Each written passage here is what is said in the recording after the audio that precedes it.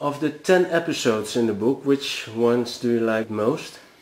Well, I think that one that I really enjoyed very much discovering in, in a sense and then writing was his first um, encounter with his, with his uh, cousin Maria Barbara that became his wife after a while, after some time.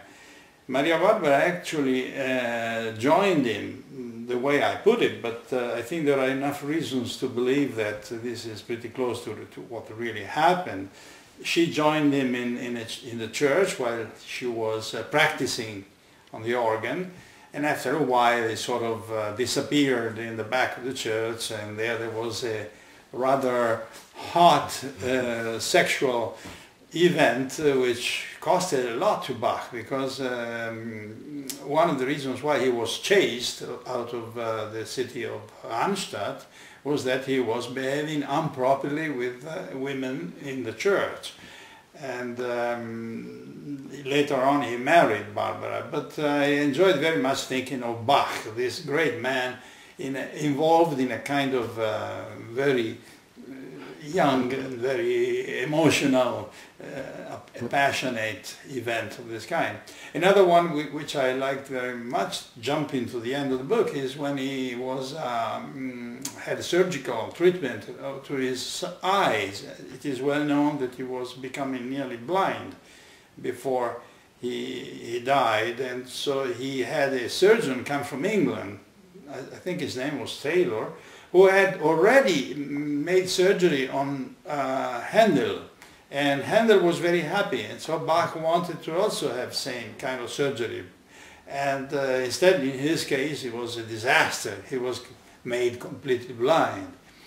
Then another story when he was at the court of um, Wilhelm Ernst in Weimar, and he sort of, he was very unhappy with this duke because this duke was a a bigot, a Lutheran bigot, and so he was trying to uh, get a job elsewhere, and this Duke discovered he, he, he was trying to get away, and he put him in jail.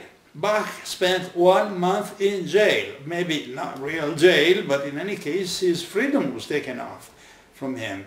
So this was another part of, it. all these are true facts. I mean, history tells us this is so, but I may put a little more coloring in these stories to make them more appealing to the reader that doesn't want to read a heavy, uh, boring biography and rather looks for bright spots in, in, the, in the story.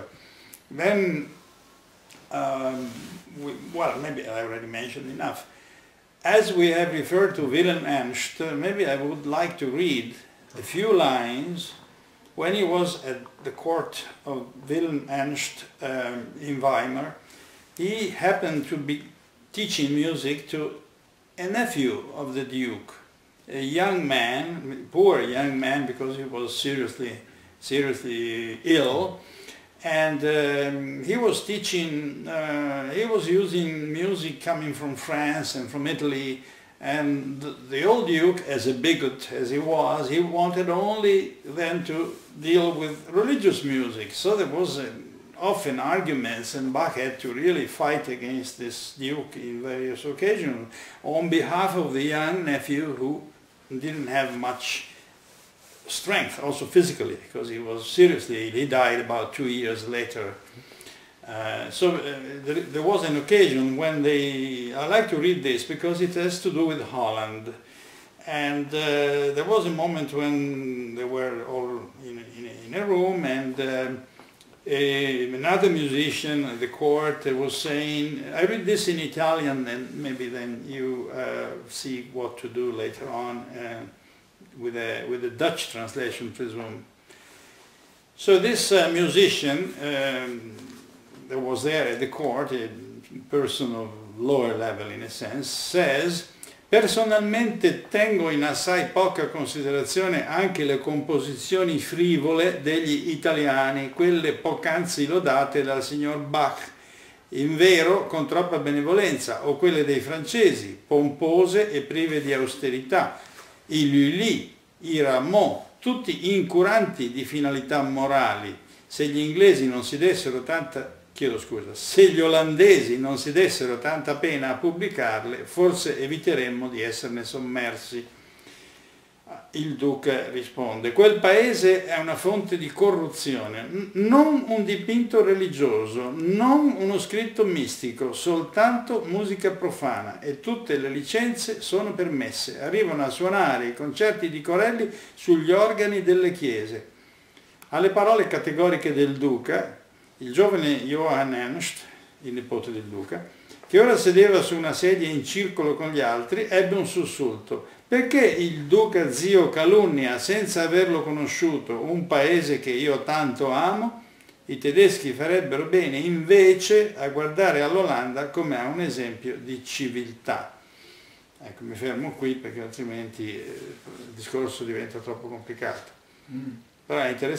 It is quite interesting to realize that uh, in Europe at the time there were so many um, so many obstacles put by the churches, Catholic or Lutheran or whatever it was, to the publication of um, open-minded, uh, innovative uh, work, whether it was art or whether it was music or whether it was uh, science, like in the case of Galileo everybody knows the problems he had to try to publish uh, new new ideas and so on.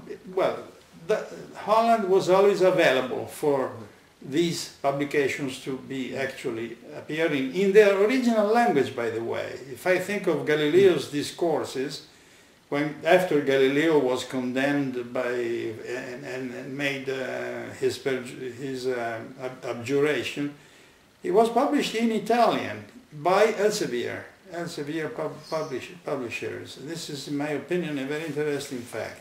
This was because, of course, uh, Holland was uh, very open-minded, uh, having so many international uh, connections. You know, it, it, it's, there is a lot of art, for instance, in, in Holland, which is not so true for Germany.